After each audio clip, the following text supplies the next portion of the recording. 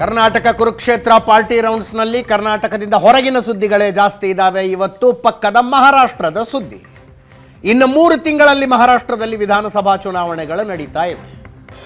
ಅದಕ್ಕಿಂತ ಮುಂಚೆ ವಿಧಾನ ಪರಿಷತ್ತಿಗೆ ಅಲ್ಲಿ ಚುನಾವಣೆಯಾಯಿತು ಇತ್ತೀಚೆಗಷ್ಟೇ ಮುಗಿದ ಲೋಕಸಭಾ ಚುನಾವಣೆಯಲ್ಲಿ ನಿರೀಕ್ಷೆಗಿಂತಲೂ, ಅಂದಾಜಿಸಿದ್ದಕ್ಕಿಂತಲೂ ದೊಡ್ಡ ಮಟ್ಟದ ಗೆಲುವನ್ನು ಪಡೆದ I N D I A ಮೈತ್ರಿಕೂಟಕ್ಕೆ ಅದರಲ್ಲೂ ಕಾಂಗ್ರೆಸ್ಸಿಗೆ ವಿಧಾನ ಪರಿಷತ್ ಚುನಾವಣೆಯಲ್ಲಿ ಶಾಕ್ ಆಗಿದೆ.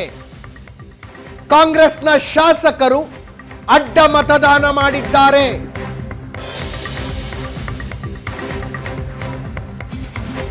ಎಂಟು ಶಾಸಕರ ಅಡ್ಡ ಮತದಾನ. ವಿಧಾನಸಭಾ ಚುನಾವಣೆಗೆ ಪೂರ್ವಭಾವಿಯಾಗಿ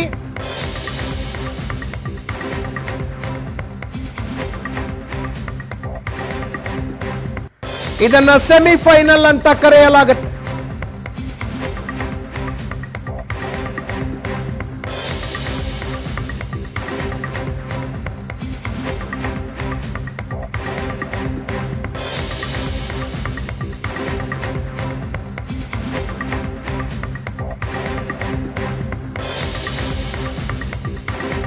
ಈ ಚುನಾವಣೆಯಲ್ಲಿ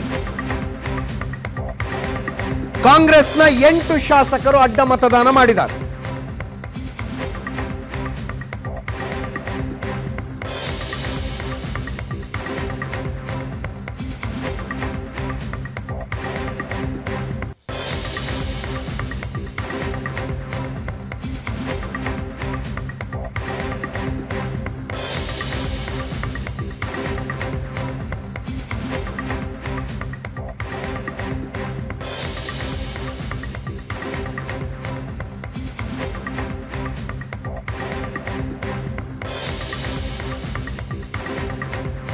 ಸಂಖ್ಯಾಬಲದ ಪ್ರಕಾರ ಐಎನ್ಡಿಎ ಮೈತ್ರಿಕೂಟ.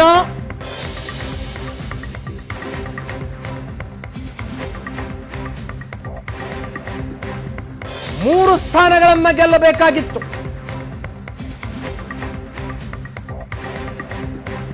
ಗೆದ್ದದ್ದೆರಡು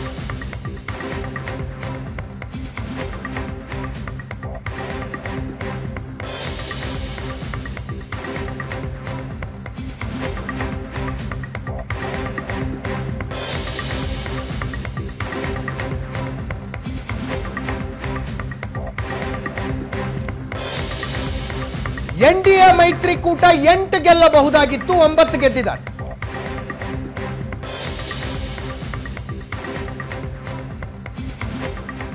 ಕಾಂಗ್ರೆಸ್ನ ಎಂಟು ಶಾಸಕರ ಅಡ್ಡ ಮತದಾನದಿಂದಾಗಿ ಐ ಎನ್ ಡಿ ಎ ಮೈತ್ರಿಕೂಟದ ಒಬ್ಬ ಕ್ಯಾಂಡಿಡೇಟ್ ಸೋತು. ಬಿಜೆಪಿಯಿಂದ ಐದು, ಶಿವಸೇನೆಯಿಂದ ಎರಡು, ಎನ್ ಸಿ ಪಿಯಿಂದ ಇಬ್ಬರು ಗೆದ್ದಂಗಾಗಿದೆ. ಐ ಎನ್ ಡಿ ಎ ಮೈತ್ರಿಕೂಟದಲ್ಲಿ ಕಾಂಗ್ರೆಸ್ನಿಂದ ಒಬ್ಬರು ಶಿವಸೇನೆ ಉದ್ಧವ್ ಠಾಕ್ರೆ ಬಣದಿಂದ ಒಬ್ಬರು ಗೆದ್ದಿದ್ದಾರೆ. ಇನ್ನು ಮೂರು ತಿಂಗಳಲ್ಲಿ ವಿಧಾನಸಭಾ ಚುನಾವಣೆ ಇದಾವೆ.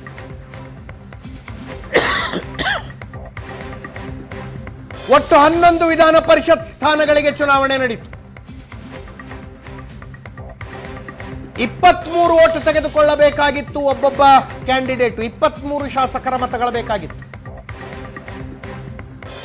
ಲೆಕ್ಕಾಚಾರದ ಪ್ರಕಾರ ಬಿಜೆಪಿ ಶಿವಸೇನೆ, ಏಕನಾಥ್ ಶಿಂಧೆ ಬಣ N C P Ajit Pawar ಬಣ, ಮೂರು ಸೇರಿ ಎಂಟು ಗೆಲ್ಲೋದಕ್ಕೆ ಅವಕಾಶ ಇತ್ತು. ಎಂಟು ಸ್ಥಾನಗಳನ್ನು ಗೆಲ್ಲೋದು.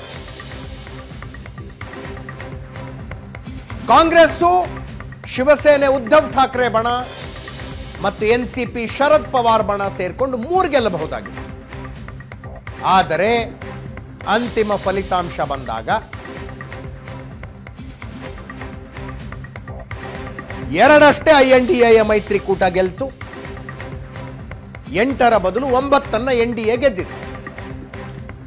ಎನ್ ಡಿ ಎದವರು ಒಂದು ಎಕ್ಸ್ಟ್ರಾ ಕ್ಯಾಂಡಿಡೇಟ್ ಹಾಕಿದ್ರು.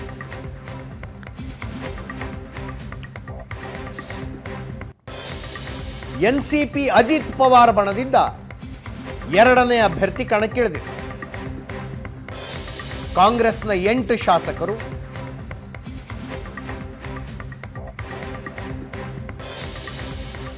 ಐ ಎನ್ ಮೈತ್ರಿಕೂಟದ ಅಭ್ಯರ್ಥಿಗಳ ಬದಲು ಎನ್ ಡಿ ಎ ಮೈತ್ರಿಕೂಟದ ಅಭ್ಯರ್ಥಿಗೆ ಓಟ್ ಹಾಕೋದು. ವಿಧಾನಸಭೆಯ ಬಲಾಬಲವನ್ನು ನೋಡೋದಾದ್ರೆ ದೇಶದ ಎರಡನೆಯ ಪೊಲಿಟಿಕಲಿ ಎರಡನೆಯ ಅತಿ ದೊಡ್ಡ ರಾಜ್ಯ ಮಹಾರಾಷ್ಟ್ರ.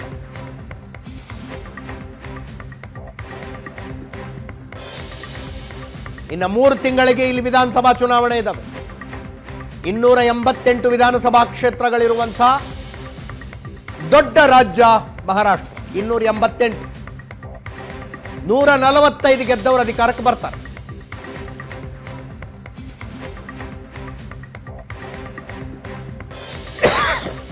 ಎನ್ ಡಿ ಎ ಮೈತ್ರಿಕೂಟದ ಸಂಖ್ಯೆ ಇನ್ನೂರ ಮೂರಿದೆ. ಇನ್ನೂರ ಮೂರು ಎನ್ ಡಿ ಎ ಮೈತ್ರಿಕೂಟದ ಸಂಖ್ಯೆ. I N D I A ಮೈತ್ರಿಕೂಟ ಎಪ್ಪತ್ತೊಂದು, ಸಂಖ್ಯೆಗಳು ಬರಲಿ. ಹದಿನಾಲ್ಕು ತೆರವಾದ ಸ್ಥಾನಗಳಿದಾವೆ. ಹಾಲಿ ಬಲಾಬಲ ಇದೆ.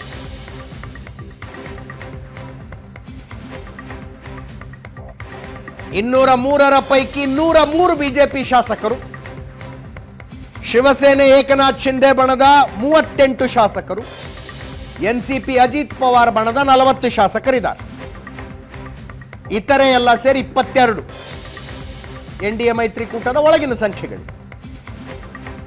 ಐ ಎನ್ ಎ ಮೈತ್ರಿಕೂಟದ ಎಪ್ಪತ್ತೊಂದು ಶಾಸಕರ ಪೈಕಿ ಕಾಂಗ್ರೆಸ್ಸಿನ ಮೂವತ್ತೇಳು, ಶಿವಸೇನೆ ಉದ್ಧವ್ ಠಾಕ್ರೆ ಬಣದ ಹದಿನಾರು ಎನ್ಸಿಪಿ ಶರದ್ ಪವಾರ್ ಬಣದ ಹನ್ನೆರಡು, ಇತರೆ ಆರು ಐ ಎನ್ ಡಿ ಎ ಮೈತ್ರಿಕೂಟದಲ್ಲಿ. ಲೋಕಸಭೆಯಲ್ಲಿ ಕಾಂಗ್ರೆಸ್ ಭರ್ಜರಿಯಾಗಿ ಪರ್ಫಾರ್ಮ್ ಮಾಡ್ತಿದೆ. ಎರಡ್ ಸಾವಿರದ ಹತ್ತೊಂಬತ್ತರಲ್ಲಿ ಕೇವಲ ಒಬ್ಬ ಸಂಸದರಿದ್ದರು ಕಾಂಗ್ರೆಸ್ಸಿನ. ಈ ಸಲ ಹದಿಮೂರು ಸಂಸದರಾಗಿದ್ದಾರೆ. ಬಿಜೆಪಿಗೆ ಅತಿ ದೊಡ್ಡ ಏಟು ಕೊಟ್ಟ ಎರಡನೆಯ ರಾಜ್ಯ Maharashtra.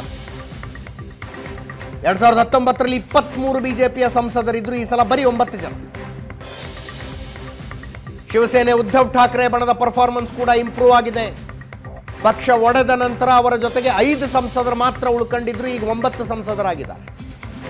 N C P Sharad Pawar ಬಣದ ಜೊತೆಗೆ ಕೇವಲ ಒಬ್ಬ ಸಂಸದರಿದ್ರು, ಈಗ ಎಂಟು ಸಂಸದರಿದ್ದಾರೆ. ಅದರ ಡೈರೆಕ್ಟ್ ಏಟ್ ಆಗಿದ್ದು ಶಿವಸೇನೆ ಏಕನಾಥ್ ಶಿಂದೆ ಬಣದ ಮೇಲೆ ಹದಿಮೂರು ಸಂಸದರು ಅವರ ಜೊತೆಗೆ ಬಂದಿದ್ರು, ಪಕ್ಷ ಒಡೆದಾಗ ಈಗ ಅವರ ಜೊತೆಗೆ ಏಳು ಸಂಸದರಿದ್ದಾರೆ ಏಳು ಸಂಸದರು ಗೆದ್ದಿತ್ತು. N C P Ajit Pawar ಬಣದ ಜೊತೆಗೆ ಪಕ್ಷ ಒಡೆದಾಗ ಮೂರು ಸಂಸದರು ಬಂದಿದ್ರು, ಈಗ ಕೇವಲ ಒಬ್ಬ ಸಂಸದ. ಕಳೆದ ಲೋಕಸಭಾ ಚುನಾವಣೆಯ ಫಲಿತಾಂಶ, ಕಾಂಗ್ರೆಸ್, ಶಿವಸೇನೆ ಉದ್ಧವ್ ಠಾಕ್ರೆ ಬಣ ಮತ್ತು ಎನ್ ಸಿ ಶರದ್ ಪವಾರ್ ಬಣಕ್ಕೆ ದೊಡ್ಡ ಬೂಸ್ಟ್ ಕೊಟ್ಟಿದೆ. ಇದೇ ಉರುಪಿನಲ್ಲಿ ವಿಧಾನಸಭಾ ಚುನಾವಣೆಯನ್ನ ಗೆದ್ದುಕೊಳ್ಳುವ ತಯಾರಿಯಲ್ಲಿ ಐ ಎನ್ ಡಿ ಮೈತ್ರಿಕೂಟ ಇದೆ. ಅದರ ಮಧ್ಯದಲ್ಲಿ ವಿಧಾನ ಪರಿಷತ್ ಚುನಾವಣೆಯ ಆಘಾತ.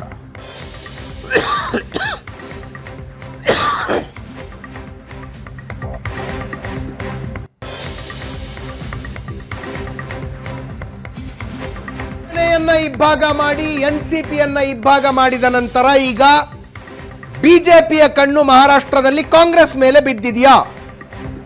ಸಹಜ ಸಂಶಯಗಳು ಬರ್ತವೆ.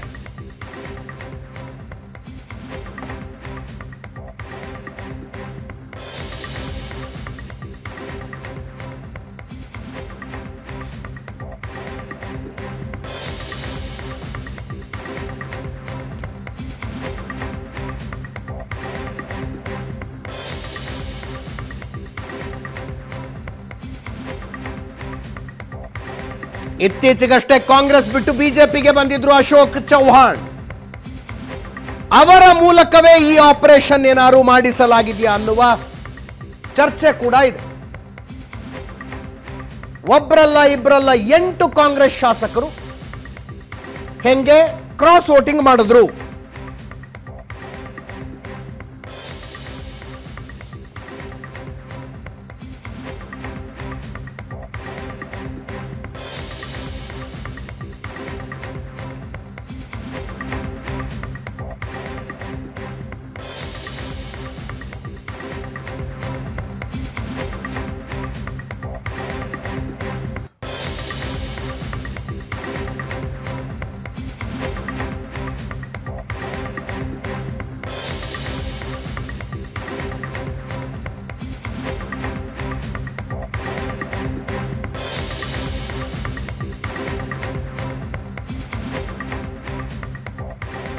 ನನ್ನ ಕೊಲೀಗ್ ಪ್ರಶಾಂತ್ ನಾತು ಹೆಚ್ಚಿನ ಮಾಹಿತಿ ಕೊಡೋದಕ್ಕೆ ನಮ್ಮ ಜೊತೆಗೆ ನೇರ ಸಂಪರ್ಕದಲ್ಲಿದ್ದಾರೆ. ಪ್ರಶಾಂತ್ ಲೋಕಸಭಾ ಚುನಾವಣೆ ಹುರುಪಿನಲ್ಲಿದ್ದರು ಐ ಎನ್ ಡಿ ಐದವರು ಕಾಂಗ್ರೆಸ್ಸಿಗೆ ಒಂದು ರೀತಿ ಎಂಟು ಶಾಸಕರ ಅಡ್ಡ ಮತದಾನ ಶಾಕ್ ಆಗಿರುತ್ತೆ.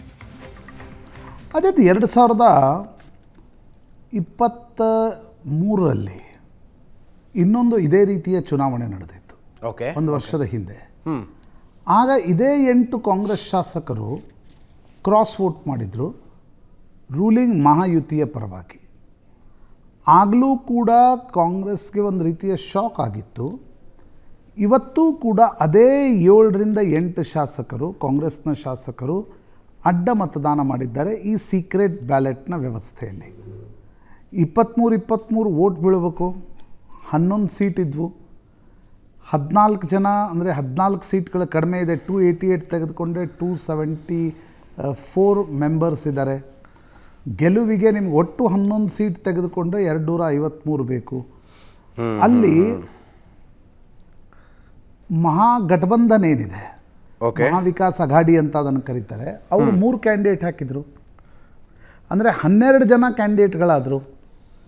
ಹನ್ನೆರಡು ಜನ ಕ್ಯಾಂಡಿಡೇಟ್ಗಳಾಗಿದ್ದರಿಂದ ಈಗ ಕಾಂಗ್ರೆಸ್ ಹೇಳ್ತಾ ಇದೆ ನಾವು ಆ ಎಂಟು ಜನ ಯಾರನ್ನು ಕಂಡುಹಿಡಿಬೇಕಂತ ಅಂದ್ಕೊಂಡ್ವಿ ಅವ್ರನ್ನ ಟ್ರ್ಯಾಪ್ ಮಾಡೋದಕ್ಕೋಸ್ಕರ ನಾವು ಈ ಇನ್ನೊಂದು ಕ್ಯಾಂಡಿಡೇಟ್ ಹಾಕಿದ್ವಿ. ಇಲ್ಲಾದರೆ ಅನ್ಅಪೋಸ್ಡ್ ಆಗಿ ಹೋಗ್ತಿತ್ತು ಅಂತಕ್ಕಂಥದ್ದು. ಇಲ್ಲಿ ಸೋತವ್ರು ಯಾರು ಅಂದರೆ ಶರದ್ ಪವಾರ್ ಒಂದು ರೈತ ಪಕ್ಷ ಒಂದಿದೆ ಅಲ್ಲಿ. ಅದರ ಜಯಂತ್ ಪಾಟೀಲ್ ಈ ಚುನಾವಣೆಯಲ್ಲಿ ಸೋತೋದ್ರು. ಎಸ್ ಅಂದರೆ ಶರದ್ ಪವಾರ್ ಬ್ಯಾಕ್ಡ್ ಕ್ಯಾಂಡಿಡೇಟ್ ಯಾರಿದ್ರು ಅವ್ರು ಸೋತೋದ್ರು. ನನಗನ್ಸುತ್ತೆ ಇದನ್ನು ಅಂದರೆ ನೀವು ಶಾರ್ಟ್ ಟರ್ಮ್ ಗೆಲುವಾಗಿ ನೋಡ್ತಾ ಇದ್ದರೆ B J P Eknath Shinde ಮತ್ತು ಅಜಿತ್ ದಾದಾ ಪವಾರರ ಏನೊಂದು ಮಹಾಯುತಿ ಇದೆ. ಅದಕ್ಕೊಂದು ಶಾರ್ಟ್ ಟರ್ಮ್ ಆಗಿರ್ತಕ್ಕಂಥ ಗೆಲುವು ಸಿಕ್ಕಿದೆ. ಬಟ್ ಮಹಾರಾಷ್ಟ್ರದ ಚುನಾವಣೆಯ ಅಥವಾ ಮಹಾರಾಷ್ಟ್ರದ ರಾಜಕಾರಣದ ಒಟ್ಟಾರೆ ಪರಿಸ್ಥಿತಿಯನ್ನು ಗಮನಿಸಿದಾಗ ಅಜಿತ್ ಯಾಕೆ ಲೋಕಸಭಾ ಚುನಾವಣೆಯಲ್ಲಿ ಬಿ ಜೆ ಪಿಗೆ ಅಲ್ಲಿ ದೊಡ್ಡ ಮಟ್ಟದ ಏಟ್ ಕೊಡ್ತು ನಲವತ್ತೆಂಟರಲ್ಲಿ ಮೂವತ್ತು ಸ್ಥಾನಗಳನ್ನು ಮಹಾವಿಕಾಸ್ ಅಗಾಡಿಗೆ ಗೆದ್ದು ಕೊಡ್ತು ಓಕೆ ಬಿ ಜೆ ಪಿ ಏಕನಾ ಉದ್ಧವ್ ಠಾಕ್ರೆಯ ಪಕ್ಷವನ್ನು ಒಡೆದ್ರು ಶರದ್ ಪವಾರರ ಪಕ್ಷವನ್ನು ಒಡೆದ್ರು ಆದರೂ ಕೂಡ ಜನ ಆ ರೀತಿಯ ದುರ್ಬಲ ನಾಯಕರಿರ್ತಕ್ಕಂಥ ಪಕ್ಷಗಳಿಗೆ ಹೋಗಿ ಯಾಕೆ ಓಟನ್ನು ಕೊಟ್ಟರು ಅಂತಕ್ಕಂಥದ್ದನ್ನು ಒಂದು ಕ್ಷಣ ಯೋಚಿಸಿದ್ರೆ ಈ ಒಂದು ವಿಧಾನ ಪರಿಷತ್ ಸದಸ್ಯತ್ವ ಸ್ಥಾನಕ್ಕಾಗಿ ಬಿ ಜೆ ಪಿ ಬೀಗುವ ಪರಿಸ್ಥಿತಿ ಬರ್ತಿರಲಿಲ್ಲ. ನನಗನ್ಸುತ್ತೆ ಅಜಿತ್. ನಿಮಗೆ ಒಂದು ವಿಧಾನ ಪರಿಷತ್ ಗೆಲ್ಲೋದು ಮುಖ್ಯ ಅನ್ನುವ ರೀತಿಯಲ್ಲಿ ನೋಡಿದರೆ ಅದಕ್ಕೆ ಕೇಳಿದ್ರೆ ನಾನು ಶಾರ್ಟ್ ಟರ್ಮ್ ಗೋಲ್ ಅಂತ ನೋಡಿದರೆ ಇದು ನಿಶ್ಚಿತವಾಗಿ ಮಹಾಯುತಿಗೆ ಗೆಲುವು ಅಂತ ನೋಡ್ಬೋದು. ಹೌದು. ಬಟ್ ನೀವು ಲಾಂಗ್ ಟರ್ಮ್ ಅಂತ ನೋಡಿದಾಗ ಮಹಾರಾಷ್ಟ್ರದ ಜನ ಲೋಕಸಭಾ ಚುನಾವಣೆಯಲ್ಲಿ ವೋಟಿಂಗ್ ಪ್ಯಾಟರ್ನನ್ನು ನೀವು ಗಮನಿಸಿ. ಹೇಗೆ ವೋಟ್ ಕೊಟ್ಟಿದ್ದಾರೆ? ಪದೇ ಪದೇ ಈ ರೀತಿಯ ಪಕ್ಷಗಳನ್ನು ಒಡೆಯುವ ಕೆಲಸ ಮಾಡಬೇಡಿ ಅಂತಕ್ಕಂಥ ಸ್ಪಷ್ಟ ಸಂದೇಶವನ್ನು ಈಗ. ಅಜಿತ್ ದಾದಾ ಪವಾರ್ ಶರದ್ ಪವಾರನ್ನು ಬಿಟ್ಟು ಬಂದರು. ಬಾರಾಮತಿಯಲ್ಲಿ ಅಜಿತ್ ದಾದಾ ಪವಾರ್ ಏನು ಹೇಳ್ತಾರೆ ಅದು ನಡೀತಾ ಇತ್ತು.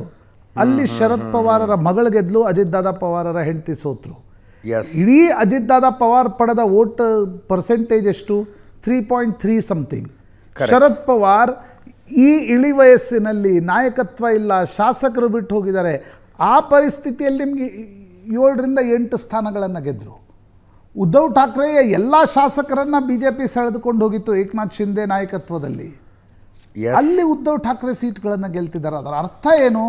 Too much is too bad but B J P whether it is repeating mistakes or it is a strategy for next Vidhan Sabha elections ಅದು ನೋಡಬೇಕಾಗತ್ತೆ. ನನಗನ್ಸುತ್ತೆ ಅಜಿತ್ ಇವತ್ತಿನ ಸ್ಥಿತಿಯಲ್ಲಿ ಬಿ ಜೆ ಪಿ ಒಂದು ವಿಧಾನ ಪರಿಷತ್ ಸದಸ್ಯತ್ವ ಸ್ಥಾನವನ್ನು ಜಾಸ್ತಿ ನಾವು ಗೆಲ್ತಿದ್ದೀವಿ ಅನ್ನೋದು ಬೀಗೋದಕ್ಕಿಂತ ಮುಂದಿನ ವಿಧಾನಸಭಾ ಚುನಾವಣೆಯಲ್ಲಿ ಗೆಲ್ತಾರ ಅನ್ನೋದು ಭಾಳ ಮುಖ್ಯ ಆಗತ್ತೆ. ಹಾಗಿರುವಾಗ ಮಹಾರಾಷ್ಟ್ರದ ಜನ ಇದನ್ನು ಹೇಗೆ ನೋಡ್ತಿದ್ದಾರೆ ಅಂತಕ್ಕಂಥದ್ದನ್ನು ಅನಲೈಸ್ ಮಾಡಬೇಕಾಗತ್ತೆ. ಮೊನ್ನೆಯ ಲೋಕಸಭಾ ಚುನಾವಣೆಯನ್ನು ಮಾನದಂಡವಾಗಿ ತೆಗೆದುಕೊಂಡ್ರೆ ಬಿ ಜೆ ಪಿಗೆ ಆಗಲೇ ಜನ ಹೇಳಿದ್ದಾರೆ, ಏಕನಾಥ್ ಶಿಂದೆಗೂ ಹೇಳಿದ್ದಾರೆ, ಅಜಿತ್ ದಾದಾ ಪವಾರ್ಗೂ ಹೇಳಿದ್ದಾರೆ. ಈ ರೀತಿ ಪದೇ ಪದೇ ಪಕ್ಷಗಳನ್ನು ಒಡೆಯೋದು, ಚಿಹ್ನೆಗಳನ್ನು ಕಸಿದುಕೊಳ್ಳೋದು, ಯಾರು ಸಂಸ್ಥಾಪಕರು ಇರ್ತಾರೆ ಅವರಿಂದಲೇ ಚಿಹ್ನೆಗಳನ್ನು ಕಸಿದುಕೊಳ್ತಕ್ಕಂಥದ್ದು ವಿ ಡೋಂಟ್ ಅಪ್ರೂವ್ ಅಂತಕ್ಕಂಥದ್ದನ್ನು ಮಹಾರಾಷ್ಟ್ರದ ಜನ ಭಾಳ ಸ್ಪಷ್ಟ ಶಬ್ದಗಳಲ್ಲಿ ಮ್ಯಾಂಡೇಟ್ ಮೂಲಕ ಹೇಳಿದ್ದಾರೆ. ಇದಾದರೂ ಕೂಡ ಇದು ನಡೀತಾ ಇದ್ದಾಗ ಇದು ಕೇವಲ ಪೊಲಿಟಿಕಲ್ ಸ್ಟ್ರಾಟರ್ಜಿ ಫಾರ್ ವಿಧಾನ ಪರಿಷತ್ ಗೆಲುವಿನಿಂದ, ಈಗ ನೋಡಿ ನಿನ್ನೆ ದೇವೇಂದ್ರ ಫಡ್ನವೀಸರ ಪತ್ರಿಕಾಗೋಷ್ಠಿ ತುಂಬ ಬೀಗ್ತಾ ಇದ್ದರು ಅವರು.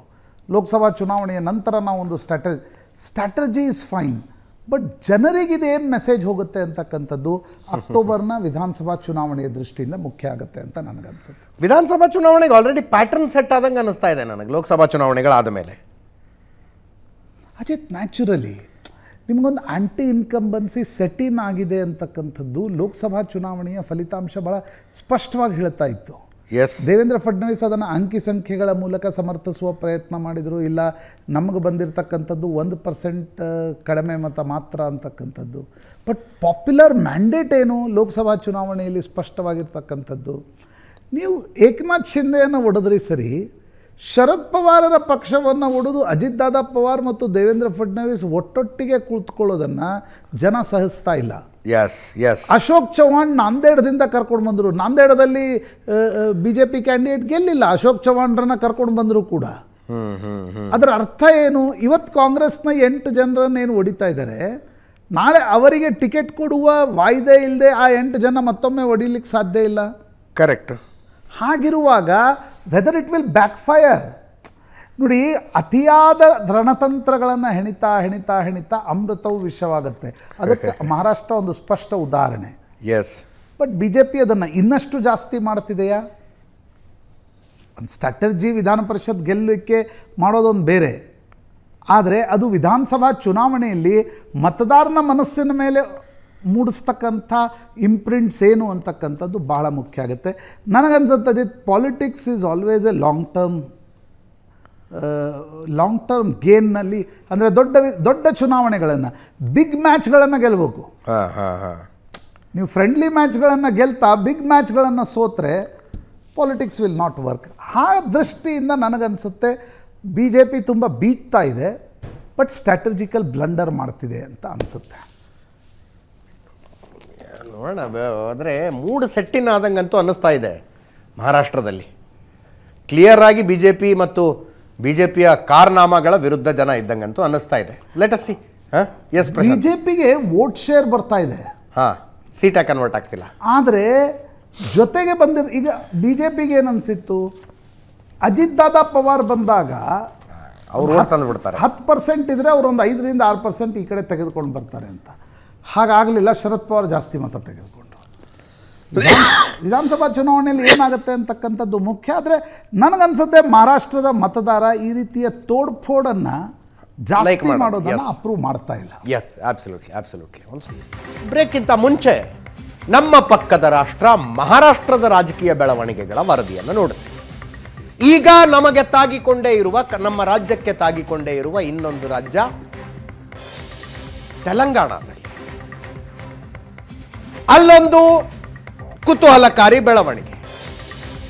ಅಲ್ಲಿ ಹತ್ತು ವರ್ಷ ಟಿಆರ್ಎಸ್ ಆರ್ ಎಸ್ ಆಳ್ವಿಕೆ ನಡೆಸಿದೆ. ಚಂದ್ರಶೇಖರ್ ರಾವ್, ಕೆ ಚಂದ್ರಶೇಖರ್ ರಾವ್ ಅರ್ಥಾತ್ ಕೆ ಸಿ ಆರ್ ಅಧಿಕಾರ ನಡೆಸಿದ್ರು.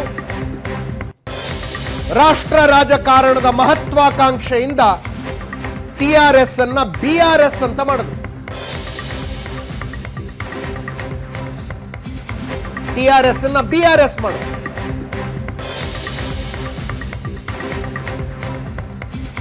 ಕಳೆದ ವಿಧಾನಸಭಾ ಚುನಾವಣೆಯನ್ನ ಬಿಆರ್ಎಸ್ ಆರ್ ಎಸ್ ಹೀನಾಯವಾಗಿ ಸೋಲ್ತು. ಲೋಕಸಭಾ ಚುನಾವಣೆಯನ್ನು ಸೋಲ್ತು.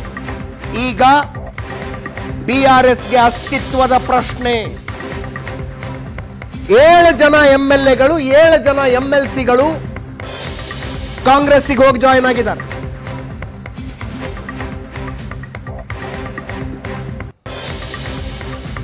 ಪಕ್ಷ ಉಳಿಸಿಕೊಳ್ಳುವ ಸವಾಲಿದೆ.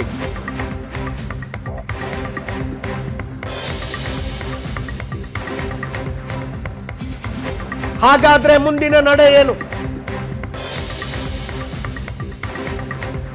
ಮುಂದಿನ ನಡೆ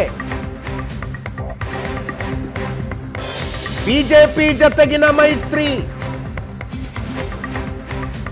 ಕರ್ನಾಟಕದಲ್ಲಿ ಹೇಗೆ ಜೆಡಿಎಸ್ಗೆ ಒಂದು ಅನಿವಾರ್ಯತೆ ಸೃಷ್ಟಿಯಾಗಿತ್ತೋ, ಅದೇ ರೀತಿಯಲ್ಲಿ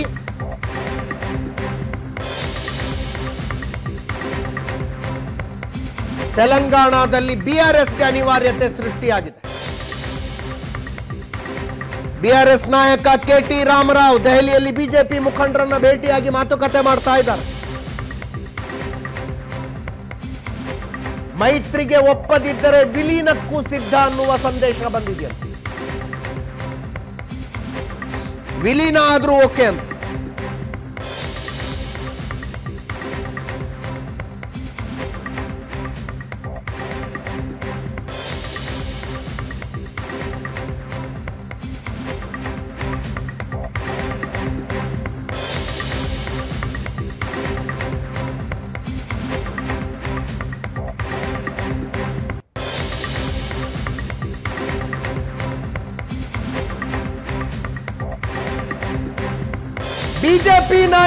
ಗೊಂದಲ ಇದೆ.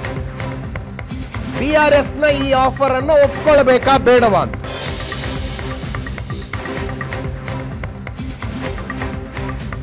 ಕೆ ಟಿ ರಾಮರಾವ್ ಕಡೆಯಿಂದ ಇಂಥದ್ದೊಂದು ಆಫರ್ ಬಂದ ನಂತರ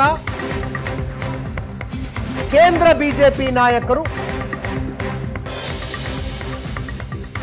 ತೆಲಂಗಾಣ ಬಿಜೆಪಿ ಮುಖಂಡರನ್ನು ಕೇಳಿದ್ದಾರೆ. ಏನು ಮಾಡೋಣ ಅಂತ. ತೆಲಂಗಾಣದಲ್ಲಿ ಕೆಲವರು ಮೈತ್ರಿ ಮಾಡ್ಕೊಳ್ಳೋಣ ಅಂತಾರೆ, ಇನ್ನು ಕೆಲವರು ಬೇಡ ಅಂತಾರೆ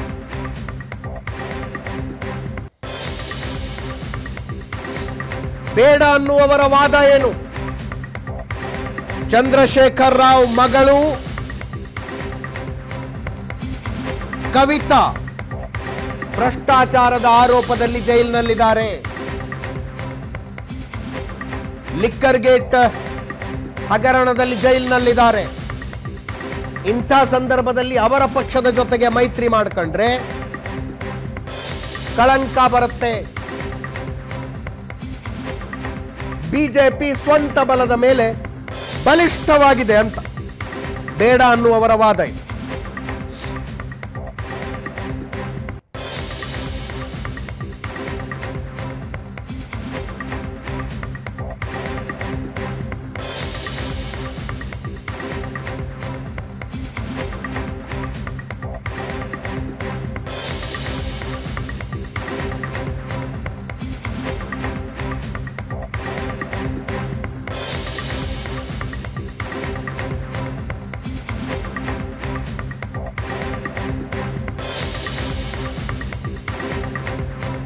ಸಲ ಲೋಕಸಭಾ ಚುನಾವಣೆಯಲ್ಲಿ ಬಿಆರ್ಎಸ್ ಒಂದು ಸ್ಥಾನವನ್ನು ಗೆಲ್ಲಲಿಲ್ಲ. ಕಳೆದ ಸಲ ಒಂಬತ್ತು ಸಂಸದರಿದ್ರು ಬಿಆರ್ಎಸ್ ಈ ಸಲ ಸೊನ್ನೆ. ಬಿಜೆಪಿ ಕಳೆದ ಸಲ ನಾಲ್ಕು ಸಂಸದರಿದ್ರು, ಈ ಸಲ ಎಂಟಿದ್ದಾರೆ.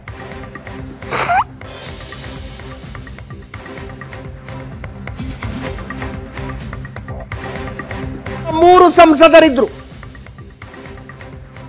ಈಗ ಎಂಟು ಸಂಸದರಿದ್ದಾರೆ. ಕಾಂಗ್ರೆಸ್ ತೆಲಂಗಾಣದಲ್ಲಿ ಅಧಿಕಾರದಲ್ಲಿದೆ. ಇನ್ನು ಎಐಎಂಐಎಂ ಓವೈಸಿ ಕಳೆದ ಸಲನೂ ಗೆದ್ದಿದ್ರು, ಈ ಸಲನೂ ಗೆದ್ದಿದ.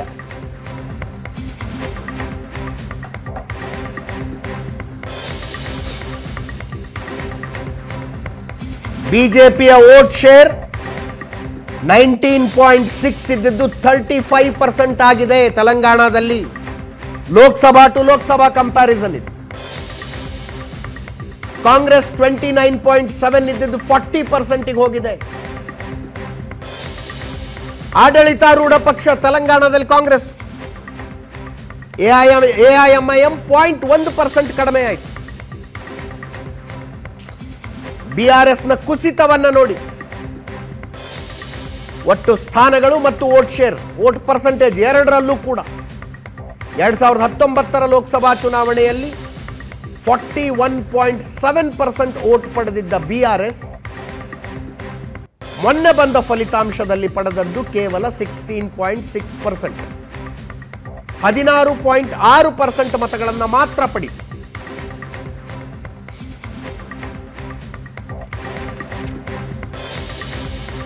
ಇನ್ನು ಇದೇ ಕಂಪ್ಯಾರಿಸನ್ ಅನ್ನ ವಿಧಾನಸಭೆಯಿಂದ ವಿಧಾನಸಭೆಗೆ ಮಾಡಿದ್ರೆ.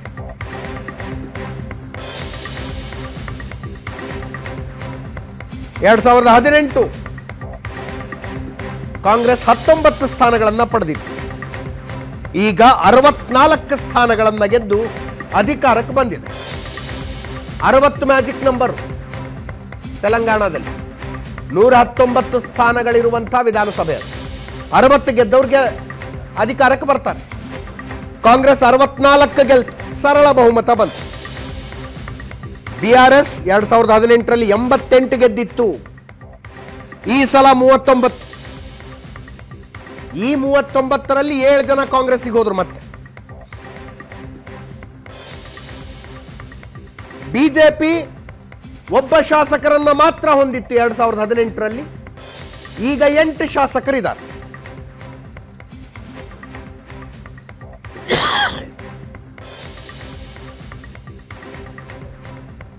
ಎರಡ್ ಸಾವಿರದ ಹದಿನೆಂಟರಲ್ಲೂ ಏಳು ಎರಡು ಸಾವಿರದ ಇಪ್ಪತ್ತ್ಮೂರರಲ್ಲೂ ಏಳು. ಒಟ್ಟು ಶಾಸಕರ ಸಂಖ್ಯೆ.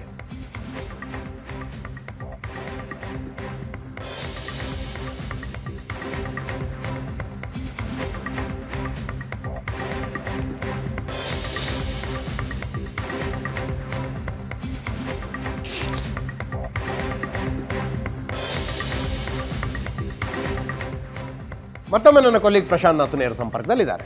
ಪ್ರಶಾಂತ್ ಡೆಸ್ಪರೇಷನ್ನ ಇದು. ಮೈತ್ರಿ ಮಾಡಿಕೊಳ್ಳೋಣ. ಇಲ್ಲದೆ ಹೋದರೆ ವಿಲೀನಕ್ಕೂ ರೆಡಿ ಮೈತ್ರಿ ಮಾಡ್ಕೊಂಡು ಯಾವ ಚುನಾವಣೆಗಳನ್ನು ಎದುರಿಸೋದಿದೆ?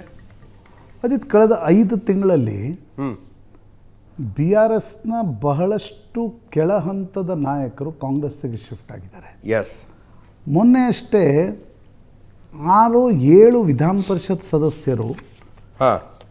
ಕಾಂಗ್ರೆಸ್ಸಿಗೆ ಶಿಫ್ಟ್ ಆದರು. ರೇವಂತ್ ರೆಡ್ಡಿ ಜೊತೆ ಹೋದರು. ಎಸ್ ಎಸ್ ಬಹಳಷ್ಟು ಗಟ್ಟಿ ಇರ್ತಕ್ಕಂಥ ಮಾಜಿ ಶಾಸಕರು ನ ರೇವಂತ್ ರೆಡ್ಡಿ ಸೆಳೀತಾ ಇದ್ದಾರೆ. ಇನ್ನೊಂದು ಕಡೆ ಲೋಕಸಭಾ ಚುನಾವಣೆಯಲ್ಲಿ ಬಿ ಜೆ ಪಿ ಭಾಳ ಪ್ರಬಲವಾಗಿ ಬೆಳೆದಿದೆ.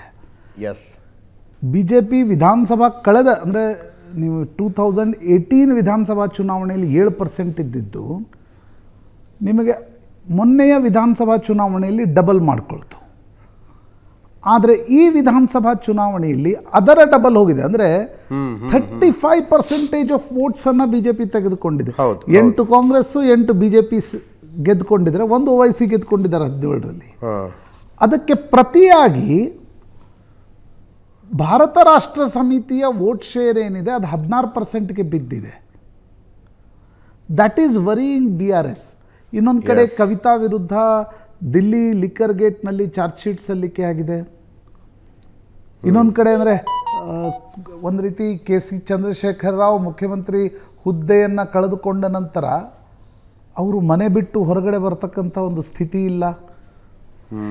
ಈ ಫ್ಯಾಮಿಲಿ ಓರಿಯೆಂಟೆಡ್ ಪಕ್ಷಗಳ ಒಂದು ದೊಡ್ಡ ಸಮಸ್ಯೆ ಅಂತಂದರೆ, ಅಧಿಕಾರದಲ್ಲಿದ್ದಾಗ ಎಲ್ಲವೂ ನಡ್ಕೊಂಡು ಹೋಗ್ಬಿಡುತ್ತೆ. ಒಂದು ಚುನಾವಣೆ ಸೋತ ನಂತರ ಅಲ್ಲಿ ಸಮಸ್ಯೆಗಳು ಶುರು ಆಗುತ್ತೆ ಹೌದು.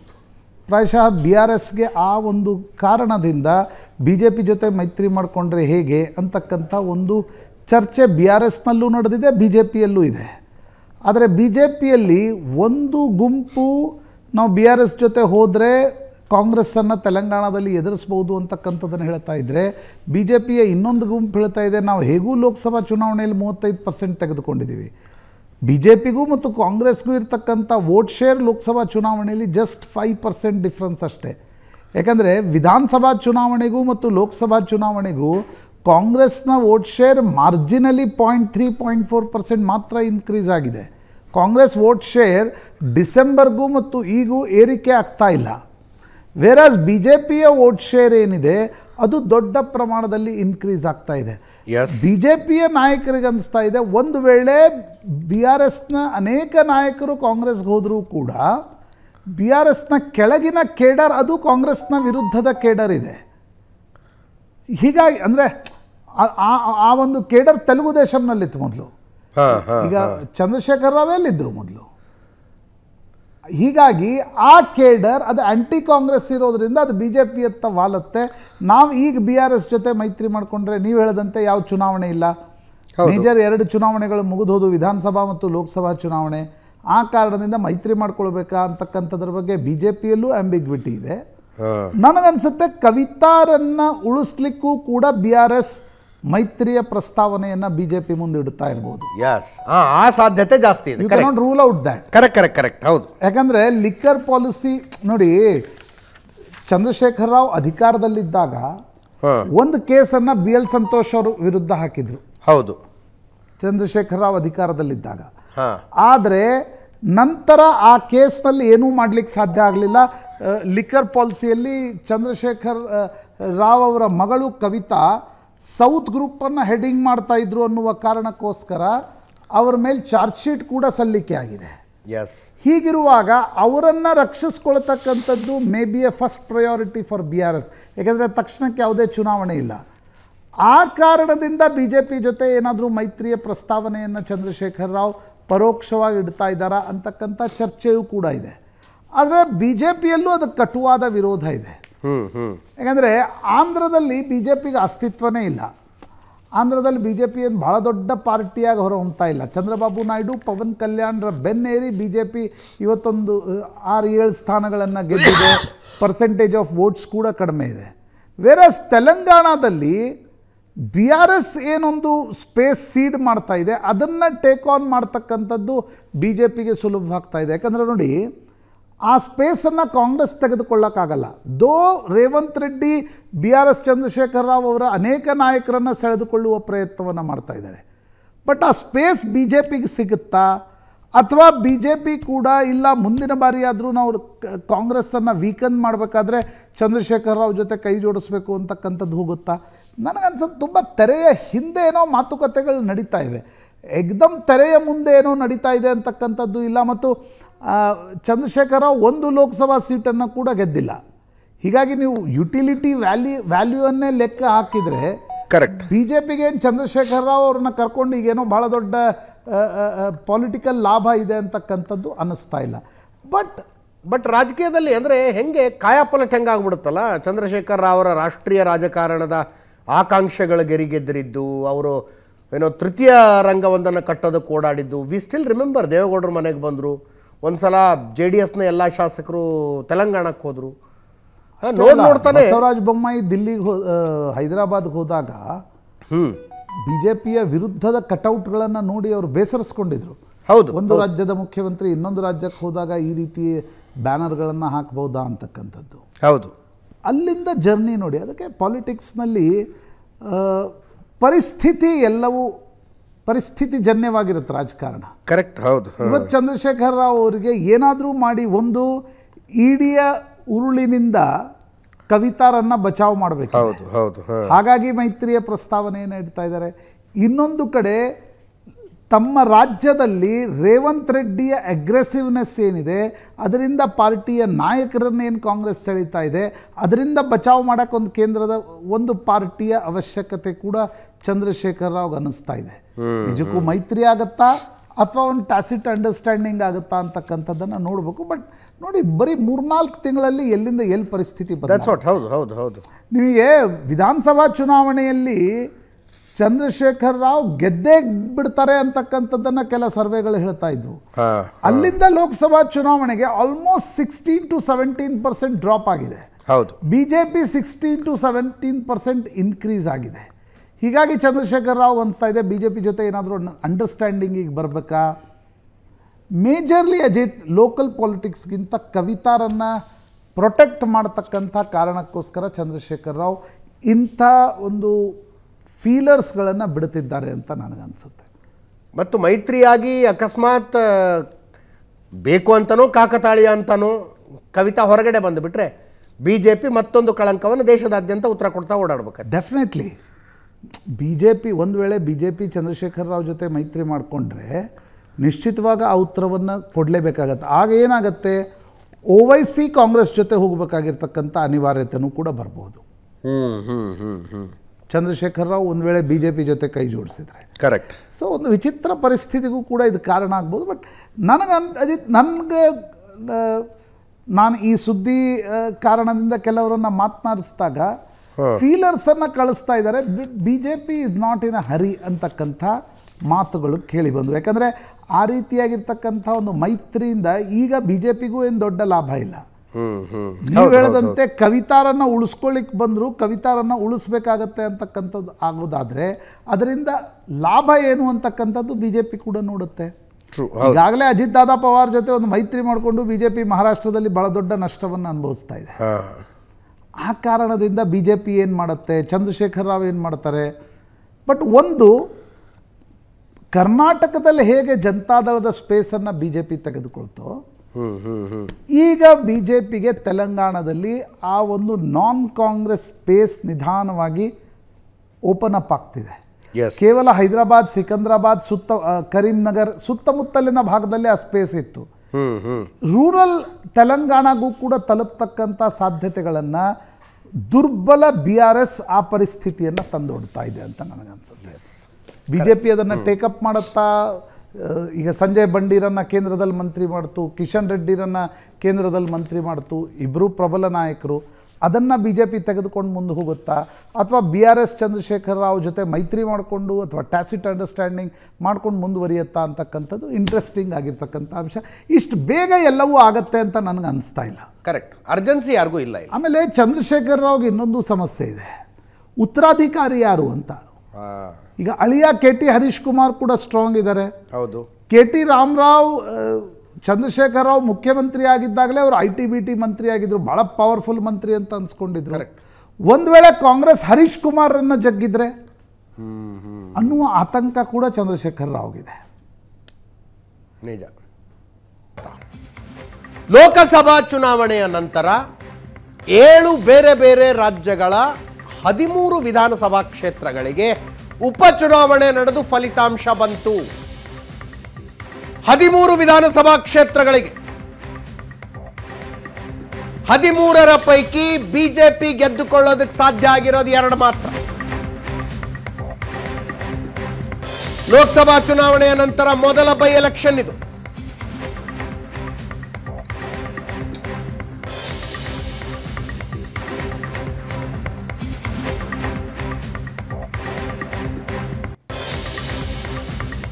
ಐಎನ್ಡಿಎ ಮೈತ್ರಿಕೂಟ ಭರ್ಜರಿ ಗೆಲುವು ಸಾಧಿಸಿದೆ.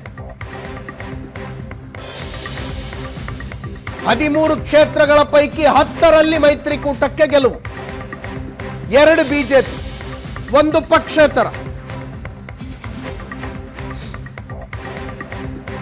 ಅಯೋಧ್ಯೆಯನ್ನ, ಅಯೋಧ್ಯ ಲೋಕಸಭಾ ಕ್ಷೇತ್ರವನ್ನ ಗೆದ್ದು ಬೀಗ್ತಾ ಇದ್ದ ಕಾಂಗ್ರೆಸ್.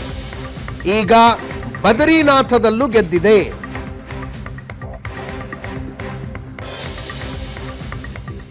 ಐಎನ್ಡಿಐ ಮೈತ್ರಿಕೂಟ ಗೆದ್ದಿತ್ತು. ಅಯೋಧ್ಯೆಯಲ್ಲಿ ಸಮಾಜವಾದಿ ಪಕ್ಷದ ಕ್ಯಾಂಡಿಡೇಟ್ ಗೆದ್ದಿದೆ ಈಗ ಬದರಿನಾಥದಲ್ಲಿ ಕಾಂಗ್ರೆಸ್ ಗೆದ್ದಿದೆ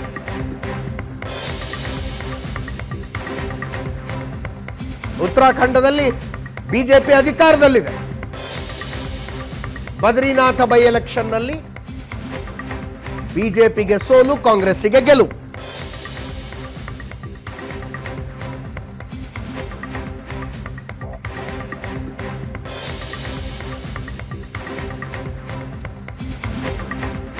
ಪಶ್ಚಿಮ ಬಂಗಾಳದ ನಾಲ್ಕು, ಹಿಮಾಚಲದ ಮೂರು, ಉತ್ತರಾಖಂಡದ ಎರಡು, ಪಂಜಾಬ್, ತಮಿಳುನಾಡು, ಮಧ್ಯಪ್ರದೇಶ ಮತ್ತು ಬಿಹಾರದ ಒಂದೊಂದು ಸ್ಥಾನಗಳಿಗೆ ಉಪಚುನಾವಣೆ ನಡೆಯಿತು ಇದರಲ್ಲಿ ತೃಣಮೂಲ ಕಾಂಗ್ರೆಸ್ ಪಶ್ಚಿಮ ಬಂಗಾಳದಲ್ಲಿ ನಾಲ್ಕಕ್ಕೆ ನಾಲ್ಕು ಗೆದ್ದಿದೆ. ಕಾಂಗ್ರೆಸ್ ಒಟ್ಟು ನಾಲ್ಕು ಕ್ಷೇತ್ರಗಳಲ್ಲಿ ಗೆದ್ದಿದೆ. ಬಿಜೆಪಿ ಎರಡು. ಐಎನ್ಡಿಎ ಮೈತ್ರಿಕೂಟದ ಆಮ್ ಆದ್ಮಿ ಪಕ್ಷ ಒಂದು. ಮೈತ್ರಿಕೂಟದ ಡಿಎಂಕೆ ಒಂದು. ಪಕ್ಷೇತರರು ಒಬ್ಬರು ಗೆದ್ದಿದ್ದಾರೆ.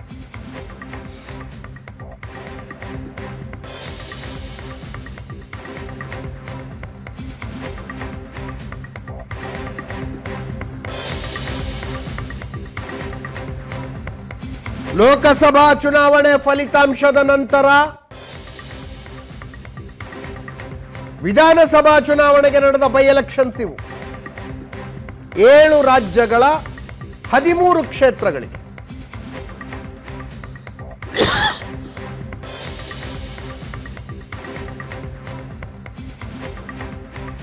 ಪೈಕಿ ಹದಿಮೂರರ ಪೈಕಿ ಐಎನ್ಡಿಎ ಮೈತ್ರಿಕೂಟ ಹತ್ತು ಬಿಜೆಪಿ ಎರಡು ಪಕ್ಷೇತರ ಒಂದು.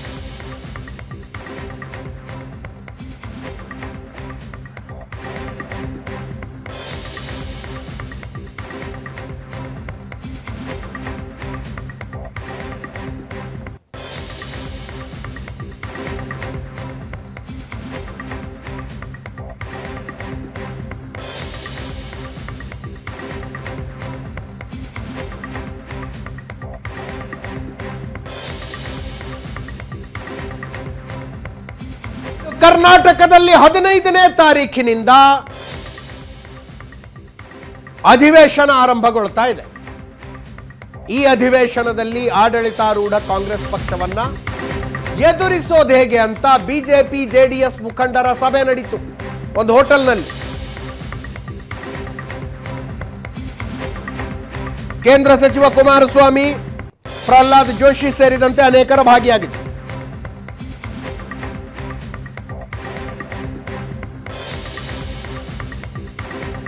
ವಿರೋಧ ಪಕ್ಷದ ನಾಯಕ ಆರ್ ಅಶೋಕ್ ಅವರ ನೇತೃತ್ವದಲ್ಲಿ ನಡೆದ ಸಭೆ.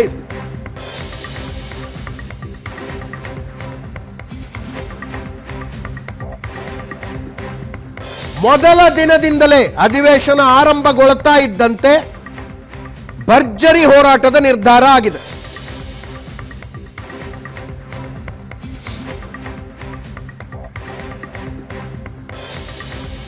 ಸಭೆಯ ದೃಶ್ಯಗಳನ್ನು ನೋಡ್ತಾ ಇದ್ದೀರಿ.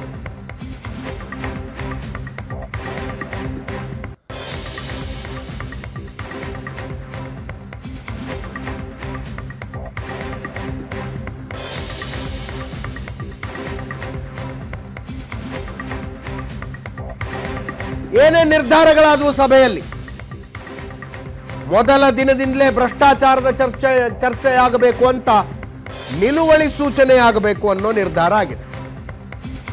ಅಕಸ್ಮಾತ್ ಸ್ಪೀಕರ್ ಅವಕಾಶ ಕೊಡದೆ ಹೋದ್ರೆ ಧರಣಿ ಮಾಡುವ ನಿರ್ಧಾರ.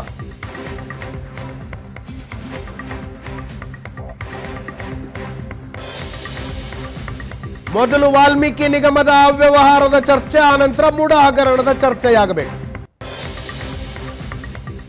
ಒಂದು ವಾರ ಸದನ ವಿಸ್ತರಿಸಿ ಅಂತ ಮನವಿ ಮಾಡಿಕೊಳ್ಳೋ ನಿರ್ಧಾರ ಆಗಿದೆ. ಗ್ಯಾರಂಟಿ ಯೋಜನೆಗಳಿಗಾಗಿ ಅಭಿವೃದ್ಧಿ ಅಭಿವೃದ್ಧಿಗೆ ದುಡ್ಡಿಲ್ಲ ಅನ್ನುವ ಚರ್ಚೆ. ಈ ಚರ್ಚೆಗಳನ್ನು ಎತ್ತಿಕೊಳ್ಳಬೇಕು ಅನ್ನುವ ನಿರ್ಧಾರ. ಕೇಳಿಸ್ಕೊಳ್ಳಿ ಯಾವ ಮುಖಂಡರೇನು ಹೇಳಿದ್ರು. ಅವರ ನೇತೃತ್ವದಲ್ಲಿ ಎಲ್ಲ ರೀತಿಯಲ್ಲಿ ನಮ್ಮ ಎರಡೂ ಪಕ್ಷಗಳ ಶಾಸಕರುಗಳು ಜಿ ಟಿ ದೇವೇಗೌಡರು ಇದ್ದಾರೆ ಇಲ್ಲಿ ಸುರೇಶ್ ಬಾಬು ಇದ್ದಾರೆ ಕೃಷ್ಣಪ್ಪ ಇದ್ದಾರೆ ನಮ್ಮಲ್ಲೂ. ಇವತ್ತು ಅವರಿಂದಲೂ ಎಲ್ಲ ನಾಯಕರು ಅಶ್ವಥ್ ನಾರಾಯಣ ಅವರು ಇದ್ದಾರೆ ಇಲ್ಲಿ. ಎಲ್ಲ ನಾಯಕರುಗಳು ಚರ್ಚೆ ಮಾಡಿದ್ದೇವೆ. ಪ್ರಹ್ಲಾದ್ ಜೋಶಿ ಅವರು ಬಂದು ಇವತ್ತು ಅವರು ಕೆಲವು ಸಲಹೆ ಕೊಟ್ಟಿದ್ದಾರೆ. ಎರಡೂ ಸದನದಲ್ಲಿ ಈ ಬಾರಿ ಪರಿಣಾಮಕಾರಿಯಾಗಿ ರಾಜ್ಯಕ್ಕೆ ಆಗ್ತಾ ಇರತಕ್ಕಂಥ ಅನಾಹುತಗಳು. ರಾಜ್ಯ ಇವತ್ತು ಕನಿಷ್ಠ ಹತ್ತು ವರ್ಷಗಳ ಅಭಿವೃದ್ಧಿಯಿಂದ ಹಿಂದೆ ಸರಿಯತಕ್ಕಂಥ ಒಂದು ವಾತಾವರಣ ನಿರ್ಮಾಣ ಮಾಡಿದ್ದಾರೆ. ಅದು ಎಲ್ಲದರ ಬಗ್ಗೆ ಒಂದು ಧ್ವನಿಯಾಗಿ ಕೆಲಸ ಮಾಡತಕ್ಕಂಥ ಸೋಮವಾರದಿಂದ ಪ್ರಾರಂಭ ಆಗುವಂಥ ವಿಧಾನಸಭಾ ಅಧಿವೇಶನದಲ್ಲಿ, ಮೊದಲ ಬಾರಿಗೆ ಈ ಅಧಿವೇಶನದಲ್ಲಿ ಎನ್ ಡಿ ಎ ಆಗಿ ಇಷ್ಟು ದಿನ ಬಿ ಜೆ ಪಿ ಮತ್ತು ಜೆ ಡಿ ಎಸ್ ಅಂತ ಇತ್ತು. ಈಗ ಎನ್ ಡಿ ಎ ಆಗಿ ಎರಡೂ ಸದಸ್ಯರು ವಿಧಾನಸಭೆ ಒಳಗಡೆ, ವಿಧಾನ ಪರಿಷತ್ ಒಳಗಡೆ ಜಂಟಿಯಾಗಿ ಈ ಸರ್ಕಾರಕ್ಕೆ ಬಿಸಿ ಮುಟ್ಟುವಂಥ ಕೆಲಸವನ್ನು ಮಾಡಬೇಕಾಗಿದೆ. ಮತ್ತು ಎಲ್ಲ ವಿಚಾರಗಳನ್ನು ತಾರ್ಕಿಕ ಅಂತ್ಯಕ್ಕೆ ತೆಗೆದುಕೊಂಡು ಹೋಗೋಕ್ಕೆ ಒಂದು ದೊಡ್ಡ ಸ್ಟ್ರೆಂತ್ ಸಿಕ್ಕಿದೆ. ನಮ್ಮ ಅರವತ್ತಾರು ಜನ ಬಸ್ಟ್ ಹತ್ತೊಂಬತ್ತು ಜನ ಇರೋದರಿಂದ ಒಂದು ದೊಡ್ಡ ಸ್ಟ್ರೆಂತ್ ಆಗಿದೆ. ಕರ್ನಾಟಕದಲ್ಲಿರುವಂಥ ಭ್ರಷ್ಟ ಕಾಂಗ್ರೆಸ್ ಈಗಾಗಲೇ ಎರಡು ಹಗರಣದಲ್ಲಿ ಪಾಲುದಾರ ಆಗಿದೆ. ಕಪ್ಪು ಚುಕ್ಕೆ ಬಂದಿದೆ. ಇದರೊಂದಿಗೆ ಇವತ್ತಿನ ಕರ್ನಾಟಕ ಕುರುಕ್ಷೇತ್ರ ಪಾರ್ಟಿ ರೌಂಡ್ಸ್ ಮುಗಿಸ್ತಾ ಇದ್ದೀನಿ. ನೇರ ದಿಟ್ಟ ನಿರಂತರ ಸುದ್ದಿಗಾಗಿ ನೋಡ್ತಾ ಇರಿ. Asianet Suvarna news.